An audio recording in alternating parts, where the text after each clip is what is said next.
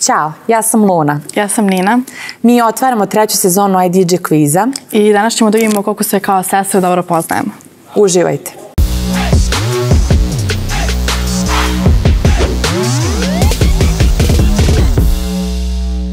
Da li ste nekada pijene zvale bivšeg dečka? Ja ću reći istinu. Da pričam ja? Ja, yes. Pa, ne. Eh, znate kako, imam 25 godina, imala sam prošlost, naravno sad sam odbiljna, ja kažem, ja sam žena, bože, ja sam žena. I majka i žena, ovaj, eh, naravno da sam imala te svoje trenutke kada sam bila mlađa, kad izađem u neki klub, malo popijem, Ja sam inače jako emotivna kada popijem i mene tad najviše puknu emocije, onda tad najviše volim da pričam ljudima koliko ih zapravo volim. I tad sam imala te trenutke kada popijem i onda se setim da ipak volim svog bivšeg dečka tamo nekog tada. I onda ga ja zovem i tako ovaj, mu to kažem. Ovaj, sad da li njega to zanima, ne zanima, o tome nećemo pričati. Ali da, imala sam te trenutke, ja mislim da je to svaka devojka žena prošla, tako da je to sasvim normalno sve to život i svi treba da prođemo i ono loše i dobro i da udarimo glavom od zida i da pogrešimo i da napravimo budalu od sebe da bi sutra eto znali ko aha, to je ono što, što ne treba ili treba da uradimo. Ja mislim tako da, da je to skroz nešto normalno. Mislim, da. to kroz, svi kroz to moramo da prođemo, tako da, da tako nije da, ništa čudno.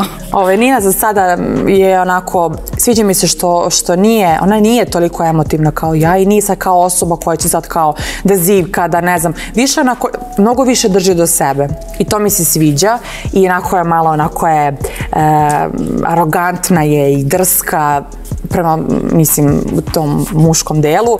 E, sviđa mi se to i vole bi da takva i ostane. Ja joj to savjetujem, iskreno. Da, to mi non stop priča, kao budi tako, budi tako, bolje je tako da budeš nego da se otvaraš previše muškarca. Pa jeste, ja pričam iz, iskustva Mislim, ne, nemoj, nemoj da bude samo da sam ja sad nešto kao neka veštica, ja sam super u vezi i pa imam poštovanje prema svom dečku i sve, samo nekad sam ono povučenije. Da li ste nekada rekle volim te, a da to niste mislile? Da, sto puta. Jesam drugarici, ali ovako kao što se tiče dečka nisam, nisam slagala nikad. Ja nisam stvarno. Mislim, generalno sad u ovim našim generacijama to više ni nema značenja, to volim te, to svako govori sad ono posle dva dana vezi ili dan vezi, to je jako velika greška jer volim te veliko, velika reč, tako da ima veliko značenje, tako da ljudi sad ga koriste onako samo da bi rekli. Pa ja baš zato nikad nisam nikome rekla da nisam mislila. Ja ovaj, kad kažem volim te, to baš, baš ima, ima značenje i, i ja kad volim to, to je zaista tako. Mislim, to ste i videli, znate.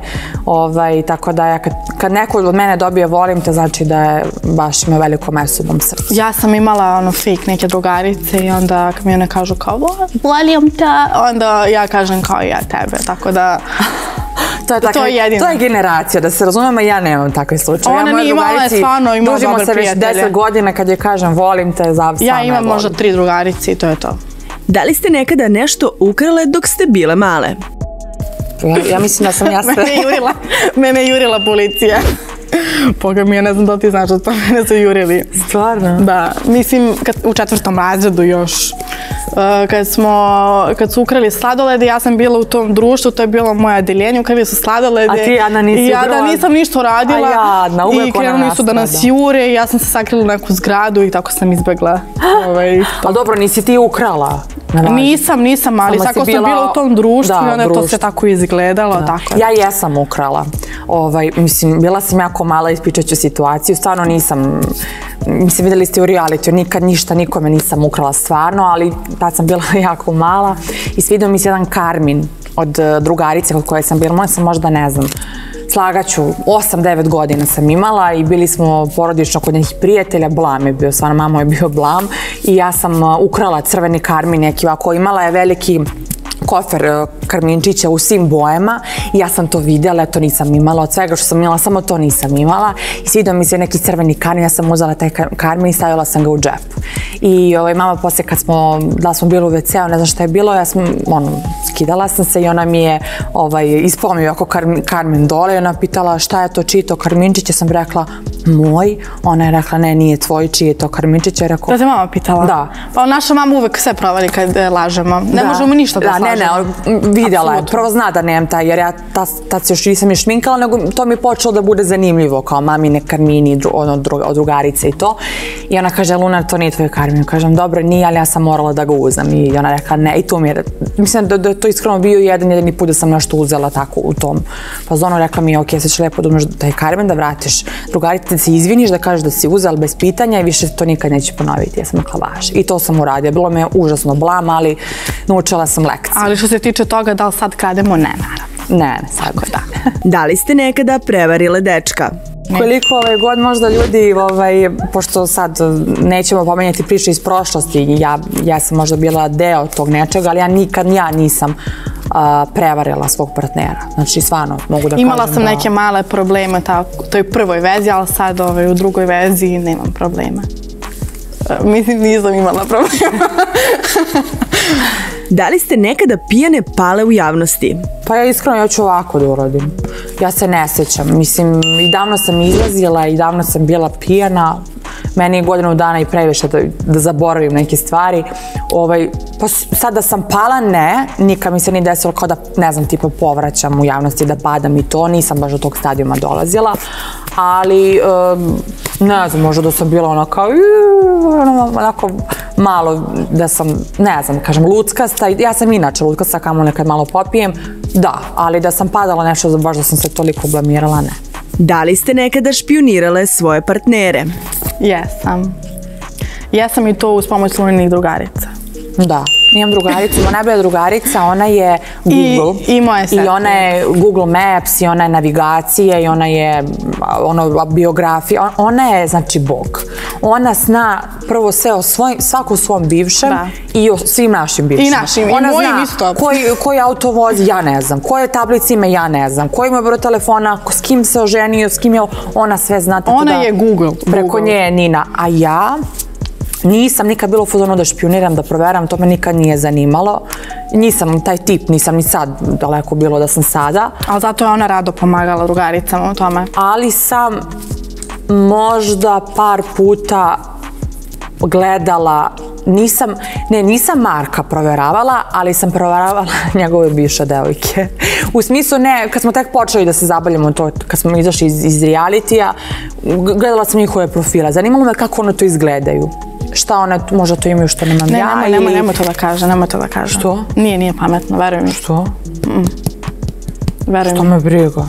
To ću da kažeš. Pa što me briga, proveravala. Ja u životu to ne bi rekla. Pa dobro, što? Pa zašto? Zato sam ja Luna Đogani. Ove, što tada da kažem. Da, proveravala sam njihove profile u smislu kako izgledaju. Pogledaju one mene i tekako da iz frižedara iskačem. Meni, meni, mene su sve blokirale, tako da... Da li ste nekada lagale za svoje godine?